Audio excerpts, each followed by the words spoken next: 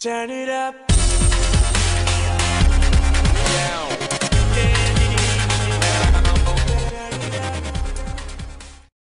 If you're looking to buy cheap coins, make sure to check out Crossbow Hut for all your Hut coin needs. Use the code SNHL for 5% off. What is going on guys, ItzNHL here and today I'm bringing you episode number 3 of Time for Hut. So you can see on the screen, this is what our team is currently looking like after we won those two games from last episode. And it's it's getting a little bit better. Still, we have a shit defense score, but all in all, right now, it's it's a decent start to the team. Hopefully, we continue winning games so we can continue upgrading our players. But let's jump into our first game, as you can see in the third episode. And the team that we are facing is the leg is the Pittsburgh Penguins. So let's get right into the game and see if we could come out with a win. So in the second period right now, taking the first face off in the second period. First period, nothing happened. Nothing was interesting. And Peter Pronto just kind of walks in. He's going to take a wrister and goes top corner. And that will put us up 1 nothing early in the second period. Now we're in the third period. It is we have about 8 minutes left. Kind of skating past the defense, waiting for someone to get open so I can do a one-timer. But no one is there, of course, because AI sucks in this game. But I kind of do that little um, behind the net glitch to secure another goal, and now we have the lead 2 nothing in the third period. Then right after that goal, we start off from the face-off.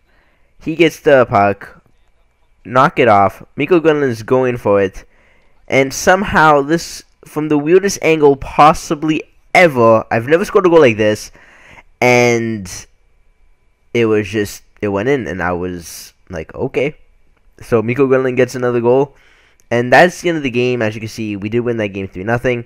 We took 19 shots on net. So we're going to the Pittsburgh Penguins and we're going to find the 19th player.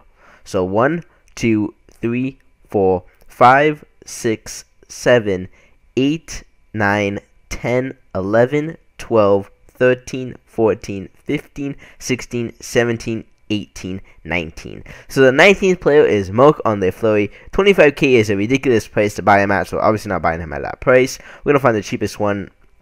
The cheapest one on the market is 1k, so we do buy it now at 1,000 pucks. So Marc Andre Fleury, welcome to the team. So here's what our team is looking like after we put them Marc Andre Fleury. We just kind of threw him, obviously, as our main goalie for the next game. And our backup goalie is Buki Boom, or Buke Boom, however the hell you pronounce his name. So let's get started and so with Marc Andre Fleury on our net, we are going to jump into our second game in our third episode and we hope to come out with the win because if we do come out with the win we get to open up a pack as this is our last game in Division 10 so if we do win we get to go to Division number 9 and the team that we are facing is the Montreal Canadiens we're facing another Montreal Canadiens fan so let's get right into the game. In the second period, there's about 16 minutes left. He comes, takes a shot, goes nowhere, uh, and kind of passes it up and goes past Marc Andre Fleury's uh, pads in the five hole.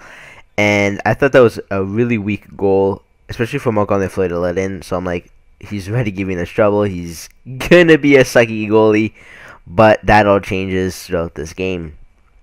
We get the puck, pass it up to Bittner he gets to be uh picks up the loose puck and does that little behind the net thing when you hold the X to protect it and you just put it in the back of the net. Simple glitch, I guess you would call it, but it's like I said, very effective in this game. It's going in almost 100% of the time, and that's exactly what we do to put us up one nothing or to tie the game one one. Then right here, he plays the puck. I don't think he meant to do that, but he plays it to um, me by accident, and Pearson is right there to do the one nice one timer, and that will put us up two to one in the second period with six minutes left. So right now we are winning this game, getting a little bit closer to opening up that final pack, and also picking up a new player at the end of this game. Then right here, Chiasson passes it to uh, uh, Amson, I think his name, Amson, and kind of what happened with his first goal was what happened in my first goal. A weak uh, five hole between the pads but it went in. So we are now up three to one in the third period. Then right here was a weird goal, but I have a little breakaway. He trips and somehow he the goalie saves it, but I still managed to score a goal with Malone, and he stops the game. I was gonna review it, but when I was about to review the uh, the instant replay, he decides to quit, so I couldn't see it all.